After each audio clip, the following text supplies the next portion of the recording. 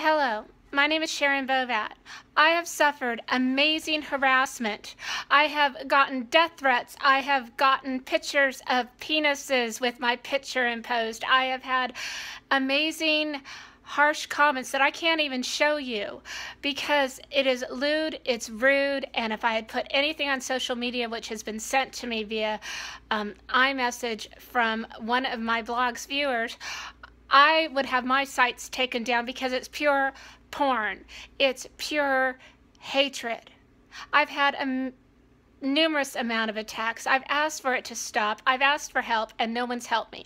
I believe they do not help me because I write against Hillary Clinton. I have exposed issues about fraud and corruption connected to Hillary Clinton. And I am bullied. I'm harassed. I get death threats and they're not investigated. I'm scared. Why? If this happened to a blogger that was in support of Hillary, I sure as hell expect that investigations would have been made.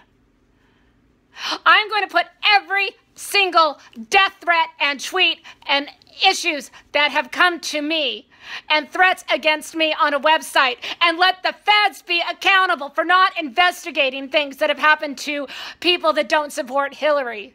It's about time that we got justice and fair in America.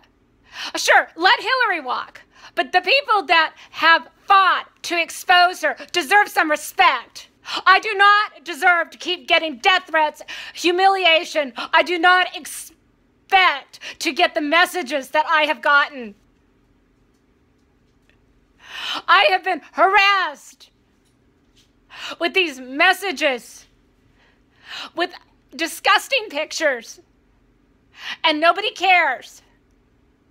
And they continue, and they have the phone number of the person that's doing it 832 685 0756 that person is able to death threat send me pictures of his penis with me, tell me he wants threesomes with me, with Ann Coulter.